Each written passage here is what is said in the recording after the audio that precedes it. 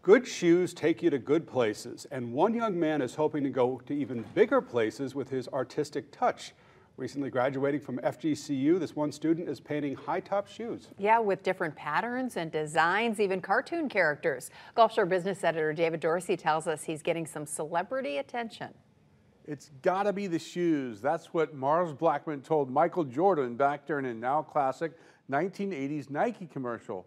For Vinny Lamanna, it's still gotta be the shoes and the paint. The FGCU student has taken high tops to a higher level of art. Lamanna just graduated from FGCU with a marketing degree. He's working part time for his parents' construction business. All the while, he will be painting shoes. So I became a sneakerhead. My friends got me involved in it, and I was always really good with drawing. Lamanna paints everything from patterns and colors to cartoon characters or just about anything his clients ask him to paint. I did shoes for myself, and then some of my friends ordered some and then people they knew contacted me and then social media started to grow and grow and grow and it was all organic which took a little longer. The vinny customs instagram page started with zero followers.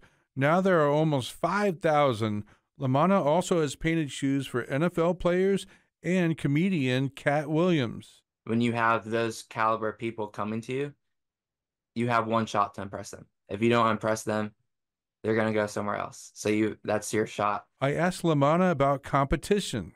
I don't want to sound like I'm egotistical or anything like that, but I'm no, just it's okay. I I would just say that I'm better than them. Like my I I say my artwork speaks for myself.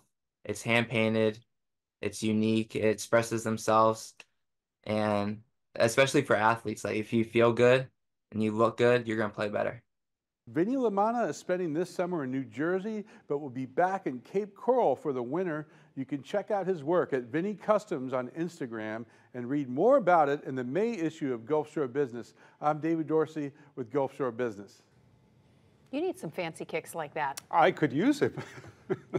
I, I, could use any number of those. They're really, really good. yeah, they are. They're, his, artwork is really I'd, I'd nice. be afraid to wear them anywhere, though. Yeah, that's I, me too. You wouldn't want to get them wet or mess right. them up at all. You'd be so upset, yeah.